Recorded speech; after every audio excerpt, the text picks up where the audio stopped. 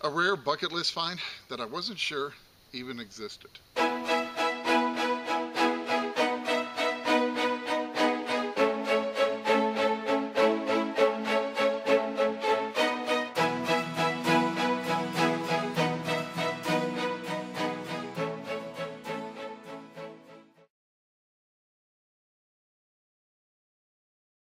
Well, welcome to Finding America. It is really nice to see you here. Now, this turned out to be an amazing day of metal detecting with awesome finds from start to finish. I decided to go back to a new permission that I featured in last week's video. So I got up bright and early and I headed down to that huge empty lot and parked my SUV down by the river. Well, I geared up right away and grabbed my Minelab Equinox 800 that I got from our friends at Kellyco and started swinging. Well, this first hunt started off with a bang and ended with a very memorable hole. And I really hope you enjoy watching this one.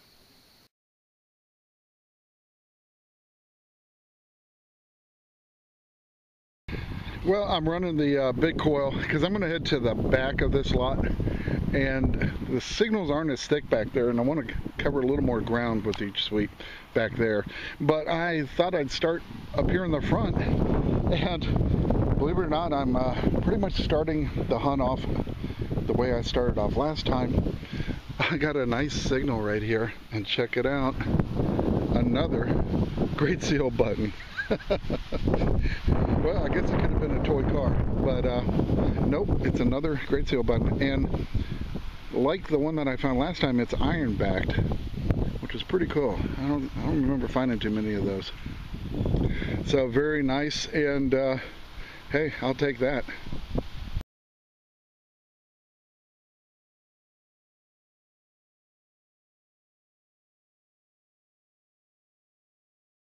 Well, this one was giving me a big high tone. I dug down, it wasn't very deep, but I wanted to show it to you even though it's kind of mangled up. It does appear to be an old toy, but this one appears to be a much older toy. I just can't quite make it out. I don't know if it's a bus, but it's definitely, definitely I think uh, much older than the ones I found here before. So I get it cleaned up, see if I can make heads or tails of it, but that gives me hope that uh, maybe there's uh, some older ones out here as well.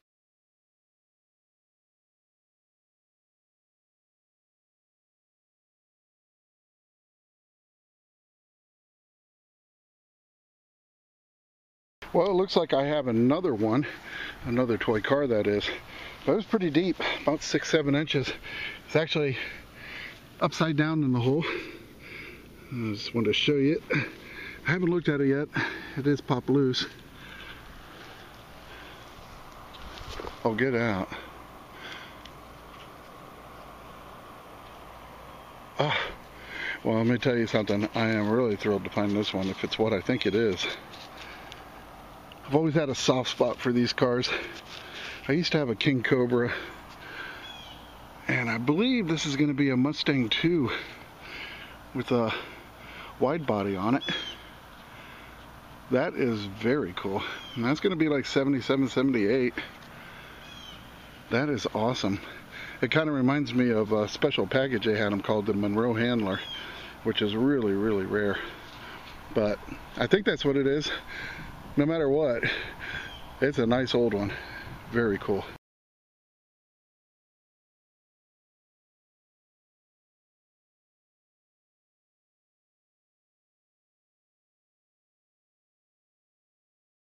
Well, I'm back at the rear of the property and that's the railroad tracks about 20 feet above me.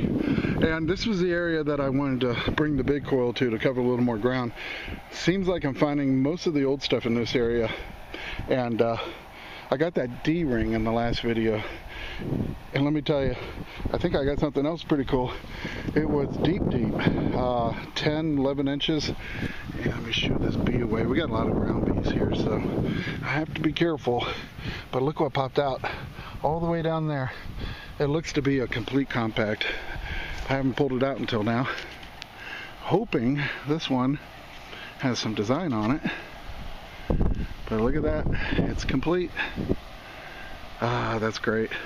Well, let me uh, I'm gonna go ahead and spray it out because I'm kind of curious and I'll give it a brush.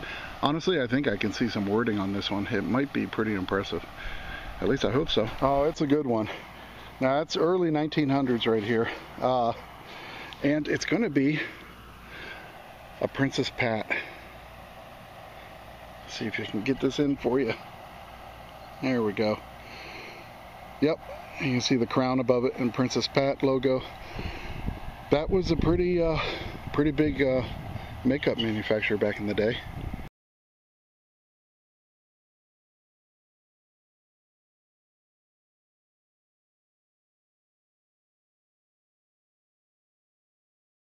Well, Princess Pat is actually a very real person. She was the granddaughter of Queen Victoria and heir to the British throne, and the daughter of the Governor General of Canada, Prince Arthur. Due to her mother's ill health, she often traveled with her father to official functions. She was young and beautiful and quickly became the darling of Canada. In fact, she was so beloved by the people of Canada they actually named a light infantry battalion after her that was assembled and sent to fight in France during World War I.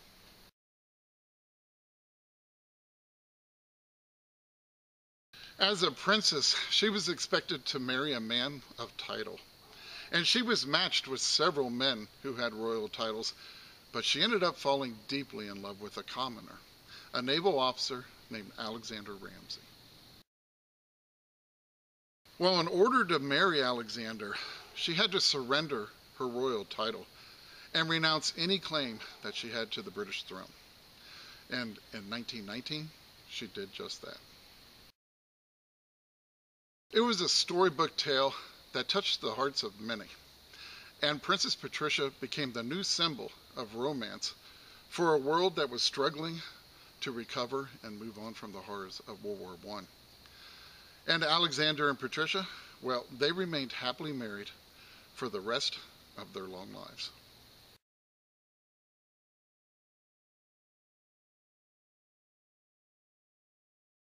Well, this is why I always wear gloves when I'm digging. I got a nice pin that still had the pin. So it looks like like a Happy Holidays Christmas pin. Still has the uh, jingle bells hanging from it. I'll get it sprayed off and cleaned up when I get back home. I think it says Happy Holidays.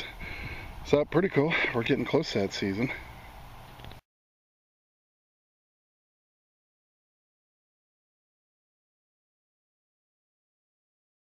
Well, the wind is picking up. I think we have the hurricane. The first little band starting to approach us here. And the winds are picking up a little bit, but uh, Got something interesting here. It was giving me a 20 and this is what came out of the hole. Isn't that an oddball?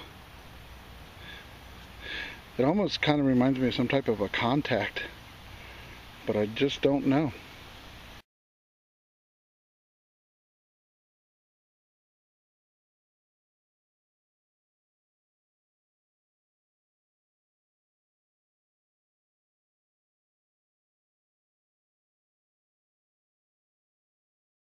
Well, I don't know if this is going to be anything or not. It was giving me an 18. It's about four or five inches down, but that's what it looks like so far. And uh, I was starting to think maybe it was a skeleton key. I don't know. It looks pretty old. It's going to take me a while. This ground is super hard under this tree, but it, it looks like it's almost pointing straight down at an angle at least. But I'm gonna keep on working on it, but I wanted to show it to you just in case it turned out to be something interesting. Well, actually, it is kind of interesting. It's not a skeleton key, but I I freed it up. Let me turn my pinpointer off here. And check it out. That is pretty darn cool. Now this is a comb for African American women back in the day. Now they would heat these up and uh, it would actually straighten their hair.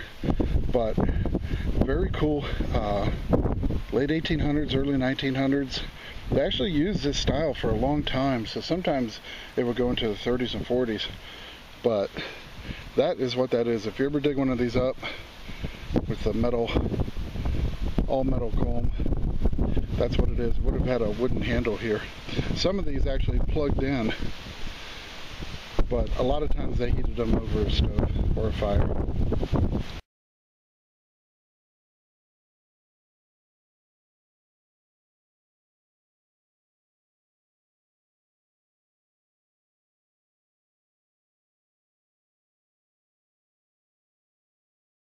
Well, this one was giving me a 19 to 20 uh, high toning, but unfortunately, although it is a ring, it's not any kind of precious metal.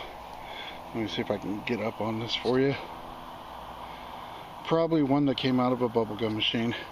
It's kind of deteriorated on the bottom here, but eh, not too bad I find.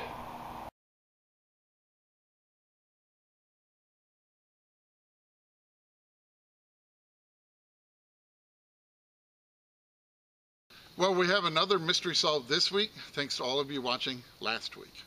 You might recall the very odd thing that I found in last week's video. Well, many of us thought it was some sort of air tool, but it wasn't. That crazy find had all of us fooled, except for one person, Drew, who was watching and let me know that what I'd actually found was part to an old crow's foot battery.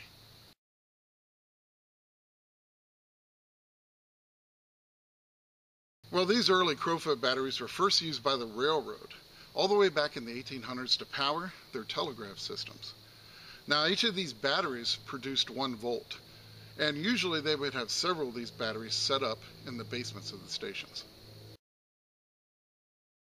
So a huge thank you goes out to Drew and everyone else that helped make this mystery find a mystery solved.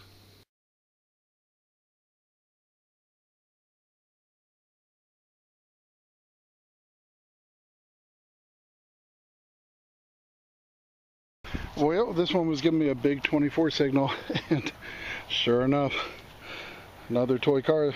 This one is going to be some kind of a, uh, eh, it might be a matchbox here. Little fire truck here, but uh, hey, one more for the collection. Well, I tell you, there's one thing better than an old toy car in the hole, and that's another one. you know what's better than that?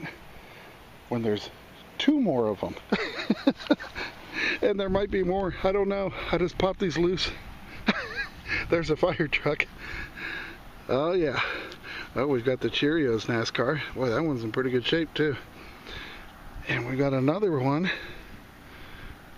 Oh, the Python pickup truck. that is insane. Oh my gosh. And there's more. Uh, scraping around without my gloves. Yep, I feel. Look at that. oh, is that a Mach 3? Wow. Yeah, I think I think that's a Mustang Mach 3. That's gonna be like 1994. Yep, sure is. Check it out. Mach 3. Yeah, that was a concept car when the 94 Mustang came out. Right around that time, I believe.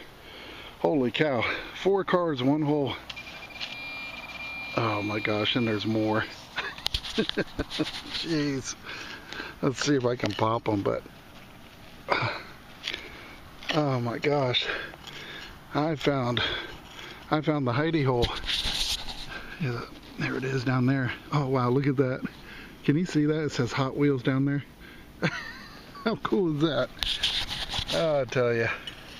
Well, if you can't find any rare old coins, this definitely helps. Oh, check it out. That's a Hot Wheels NASCAR. So there you go. There's five. Oh my gosh, it's a whole parking garage. Unbelievable. Truly is. I don't think I've dug this many out of a hole before. Holy cow. What is this? Ah, this one's this one's kind of big. Okay, I think I popped it. Oh my gosh, where do you see this?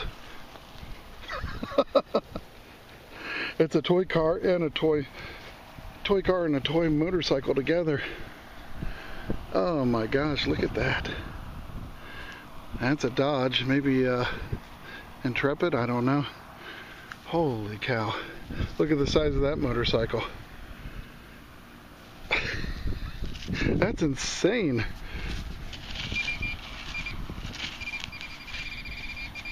I think it's going on over here. Well, I put my glove back on to dig some more. And I got this one out. And this one's gonna be a Beetle convertible. Wow. That's one, two, three, four, eight cars. I think I got them. But that's pretty awesome. That is, uh, that is one heck of a spill.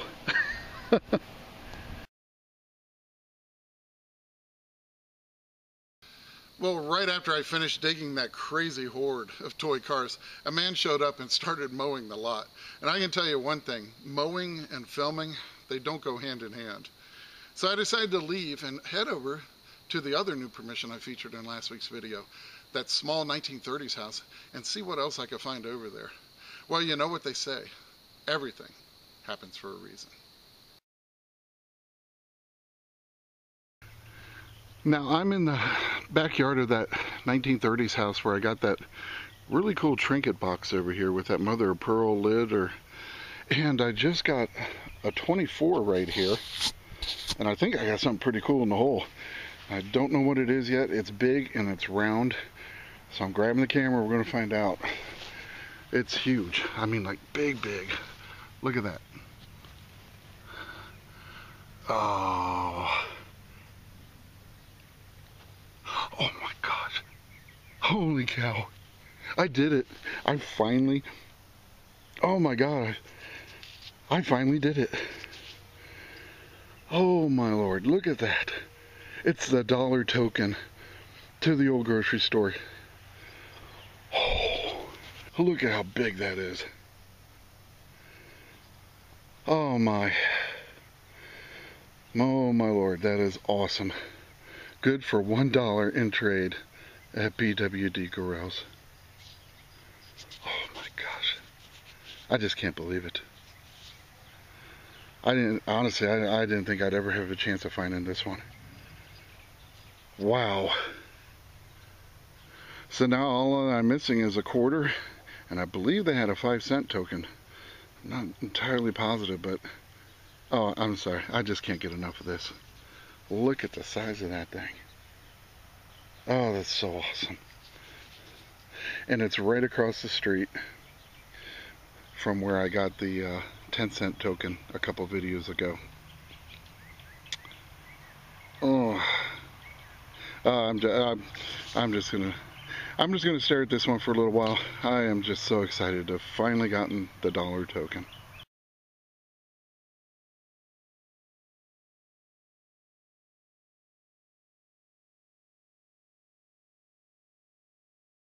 Well, that $1 Gorels token has been on my bucket list for a very long time, even though I really had no idea if they'd ever even made one. I just figured they must have, and I hoped one day that I would find one. So you can imagine my shock when I saw that in my hole. And I am so glad to finally be able to add that white whale to my collection of Gorel grocery store tokens. Well, I was getting a 15 right next to this stack of ties here, and uh, only went down a couple inches. Then I saw this pop out. Isn't that cool? That's kind of uh, eroded away over the years. I thought it was a brooch. Oh, Gosh, I have to be careful with it. But it's actually like two-sided. That is a really wild looking piece. I'm not even sure what it was. I was going to say incense burner, but it's not even big enough, really. That is an odd duck right there, but I like it. It definitely has some age to it.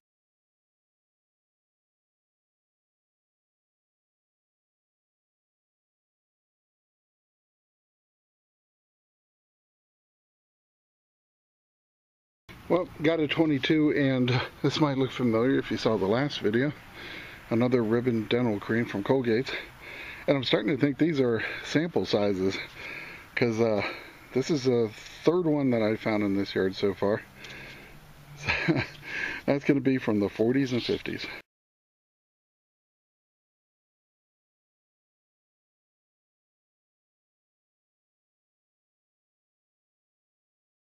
Well, I noticed something when I was swinging by. Uh, these canna lilies, they just planted these this, this year. And I think when they planted them, they might have brought something up. I'm going to bring you down here. I thought I saw a marble down here.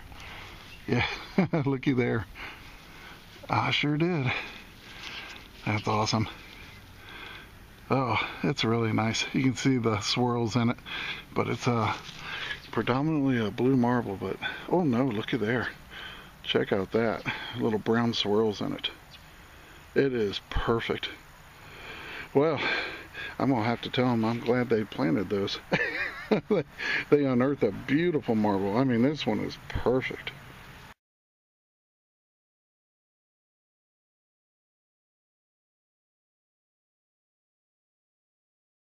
Well, this is kind of a cool little signal over here. I think we've dug one of these up.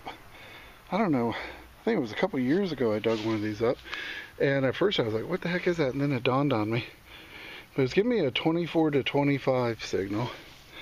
And check it out. I believe that's an old telephone uh, key fob to a keychain.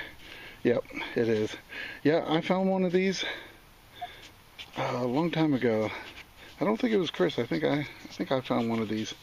But uh, yeah, it's got some a lot of writing on the back and everything. Very cool little advertising piece. I don't know if it was a Bell, uh, Bell telephone or, but they're pretty old. I'll get it cleaned up and get you a better look at it. But I love these. These are really a cool little find.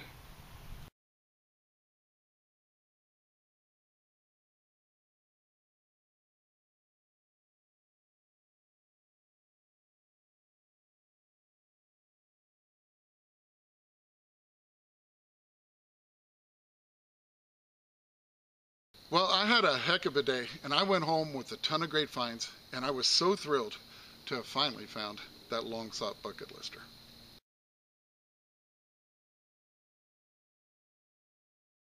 Now, don't go anywhere just yet. I have some amazing images to share with you in just four seconds. And remember, it's history that makes a find a treasure. And I can't wait to see you back here next week on Finding America.